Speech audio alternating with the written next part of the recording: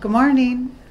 Uh, Title VII program is pleased to present Mr. Terry Jones, uh, filmmaker, producer, uh, director, and screenwriter.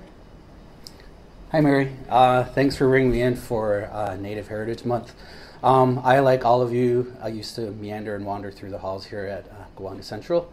Um, when I was going to school here, I was, uh, I don't want to call it a, a bad thing. I was book smart and I was creative, so I always had those things fighting with one another. So when I uh, left Gowanda, I ended up having a life kind of more of doing uh, book smart stuff like numbers and uh, uh, corporate jobs. But four years ago, I went back to school. I went to Syracuse University for film. That was my original passion, and um, um, just like I think any any high school student, you kind of find what language you're good at. Sometimes you're good at a lot of things. I consider sports a language. I consider uh, film. You have film language. That's what we're going to see today. Two of my short films, uh, math, science, they're all languages. It's just learning how to speak and how to communicate in those languages. So. Um, so I think we'll just start with um, with the first film. It's called Give and Take. Uh, it's a project that I made with um, uh, at Syracuse University. Um, it's about an anthropologist who comes to the Indian reservation to record songs for his research, and uh, along the way, uh, or Iroquois uh, woman trickster lures him into the woods and teaches him a lesson. Uh, this film premiered last year at the LA Skins Fest, which is in Los Angeles, California. And uh, after, during the award ceremony, I was awarded along with my fellow filmmakers, um, collaborators. We won the Emerging Filmmaker Award. So you're seeing an award winning film here. So, um, so let's start it. Great film, Terry. Ah, thanks. Um, I have a few questions. hmm Where did the idea come from for Give and Take, and how did you come up with the title for this film? Um, the original title to the film was going to be Taken, but apparently there's a very popular movie out there called Taken. Um, so we couldn't use that. Actually, I think it was my mom that came up with the idea of give and take. You know, you give a little, you take a little. Um, but the the idea of the story was uh, um, the person who I made the film with is from India, the country of India, and he there was an old Indian tale about a, a man seeking knowledge who went into the went into this bridge and then he ends up meeting this trickster. But I think in the film, in that story, he ends up getting killed, um, seeking knowledge. But in our story, we wanted to be more relatable in terms of how um, sometimes cultures are studied or sometimes overstudied, especially with Native Americans. How we feel we're overstudied. Um, when you think about what the moral of this, every movie or every story has a moral to it, and here the main, main character, the anthropologist, his main um, thing to learn is he has to take part.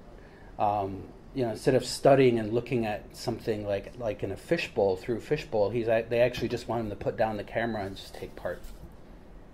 So, Very good. So um, so the next film. So like I said, that last year that premiered in Los Angeles at the LA Skins Fest. Uh, this past weekend, I was back at the LA Skins Fest screening another film.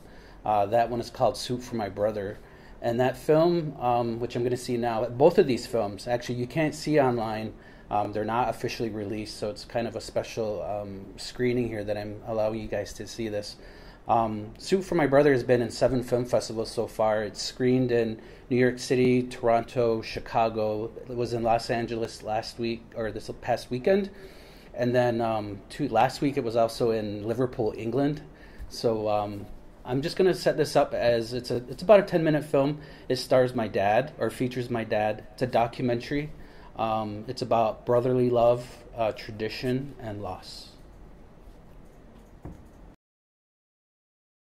Another great film, Terry. Uh, well, I kind of feel like the story. Um, people ask me like, how do you come up with the ideas for your films? And sometimes when we're, when I'm done with the process or the uh, the team that I work with, by the time we're done, we feel like the story kind of chose us um, instead of the other way around.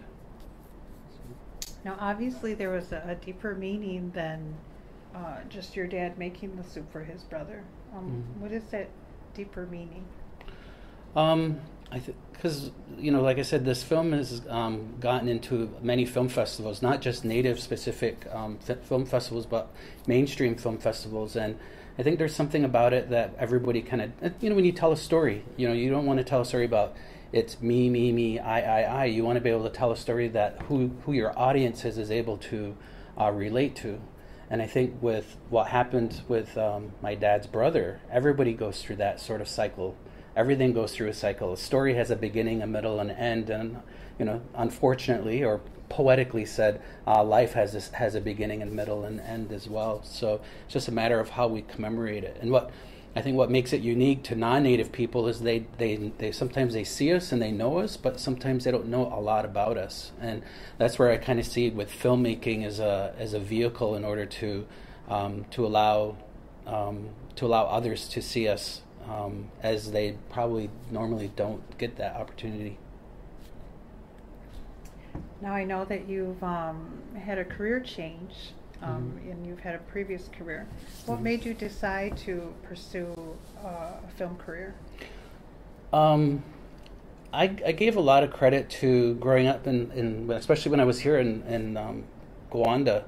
Um, the Seneca Nation used to have enrichment programs, and I was really um, enamored with photography. I love to be able to capture a moment like in time. I, I guess I I wanted to be a filmmaker, but I never felt like I was good enough. But then when you, when I used to watch things on TV, um, those weren't they weren't they tended not to be native people. They tended to be diff- other people's stories. So I felt like maybe filmmaking wasn't for me. Um, and as I got older, I just sort of realized that um, maybe maybe I can be a maybe I can be a, a storyteller. Maybe I can create those films or those stories that that don't exist. So um, I applied to Syracuse University uh, four years ago. I got accepted into their film program. And um, during those four years, I, I studied in Italy for two summers. I studied in the Czech Republic. Um, I did a semester in Los Angeles, California. Um, but in the end, I graduated in May of this year. I graduated cum sum laude, which is uh, the highest, like highest honor roll that you can have. Um, I was also valedictorian of my school. Syracuse has 12 different like schools. So the School of Visual and Performing Arts, out of 500 students, I was first. Um, it wasn't by design. I didn't try to be number one. I think it's just that I loved um, the learning process of filmmaking. That um, with making films, maybe like Give and Take and Soup for My Brother, uh, the faculty, you know, probably recognized my accomplishments. Uh, one last quick question. Mhm. Um, you've mentioned that your films have been premiered um, around the world. Mm-hmm. Um, who is probably the most famous person or celebrity you've had interaction with? Oh, ah, that's a good question. I've seen people in the streets. I mean, I've I've seen Leonardo DiCaprio. Oh wait, okay, this will do it. Uh, last year, when I was studying at the Los Angeles uh, um, Syracuse campus, we actually were able to be f- seat fillers at the American Music Awards. So I was in the audience, literally, you know, ten rows in the audience, and I got to see Justin Bieber and and Meghan Trainor and The Weeknd. Like they were all sitting like rows ahead of me, but I, they didn't allow us our cell phones to come in, so I couldn't like transmit that. Look who I'm sitting next to, or look who's near me. Um, but yeah, that those are the most famous uh, people, I think. Um, so in the end, uh, just to close up, I hope you guys enjoyed the film. Um, we live in a, a digital age now. When I came to uni- uh, was at Gowanda, everything was uh, you know you used real film to take photos. You did uh, you know there was videotape to film, but now everything's digital. So everybody can be a storyteller. I mean, we have YouTube. You can make your own movies. Um, but if you, any of you are interested in seeing more of my films, um, tonight I will be at the Seneca Nation Library. Um, Mary, maybe we'll have some information if you want to um, get the details on that. It's from 5 to 7 p.m. I will be rescreening these, these films along with two other films. And serving some corn soup. Yes, roast corn soup. Now, Terry, um, we're honored to have had you here. Um, we hope you'll come back. I'd be happy to come back. So, Great. all right, Nyaweh. Yeah.